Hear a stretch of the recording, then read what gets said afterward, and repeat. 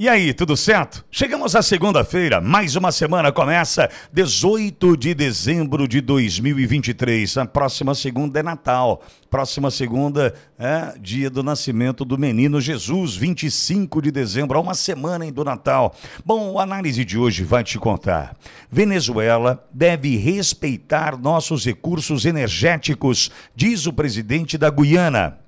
Vou te contar é o assunto de hoje. O presidente da Guiana, o Ifran Ali, afirmou que a Venezuela deve respeitar os recursos energéticos naturais guianienses. Abre aspas, respeitamos o desenvolvimento deles, os seus recursos naturais, seus bens econômicos e eles devem respeitar nossos bens naturais, nossos recursos, nosso território, fecha aspas, disse o presidente da Guiana.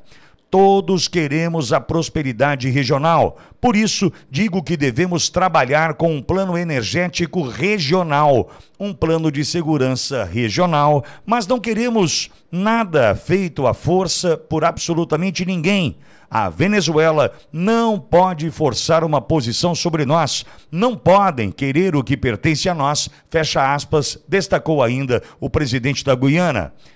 Ali também rebateu a fala de Nicolás Maduro, presidente da Venezuela, de que petroleiras dos Estados Unidos extraindo petróleo na Guiana seria o imperialismo, classificando a declaração como oportunismo. Em 2015, um consórcio liderado pela petrolífera americana ExxonMobil descobriu grandes reservas de petróleo no Mar da Guiana. Maduro alega ter direito de explorar o recurso na região de Essequibo. Ainda segundo o chefe de Estado da Guiana, também há uma petroleira chinesa no consórcio.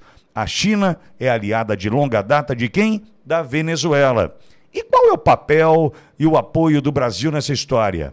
Ivan Ali também destacou o presidente da Guiana que o Brasil e o presidente Luiz Inácio Lula da Silva deixaram claro o apoio à Guiana e o direito e também ao direito internacional. Cheguei tanta clareza assim, mas tudo bem. O chefe de Estado também ressaltou que quer assegurar a paz e a estabilidade da região, mas que estão de olhos abertos para assegurar que o interesse, a soberania, a integridade territorial da Guiana sejam protegidos. Verdade, a gente sabe o tamanho do interesse que está rolando aí. Tem petróleo, tem diamante, tem cobre e tem ouro. Tá bom pra você? Hã? Petróleo, diamante, cobre e ouro enterrados ali ah, nas terras da Guiana. É por isso que Maduro está de olho. E não dá para negar que existem interesses de outros países aliados de Maduro neste caso dentre eles China e Rússia, seus principais aliados.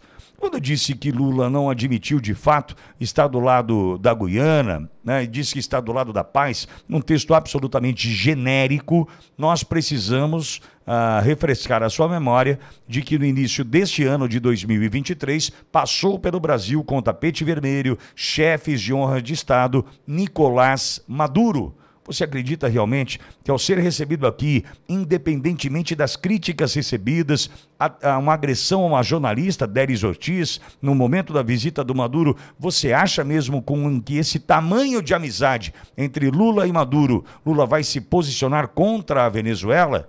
Ele se diz a favor da paz. Simplesmente isso, de uma maneira bastante clara, tergiversando e não assumindo a responsabilidade nem o protagonismo nessa nessa discussão ou com essa conversa. Bom, tem sugestão para você? Hoje o título do, do vídeo, vídeo do Daniel Toledo é curioso, né? Curioso porque, olha, olha o nome, olha o título. Ó. Camisa de borracheiro. O que será que se trata, hein? Ô Daniel, conta aí pra gente. Aqui no link você já entra direto nesse vídeo e por aqui a gente se fala amanhã. Até lá.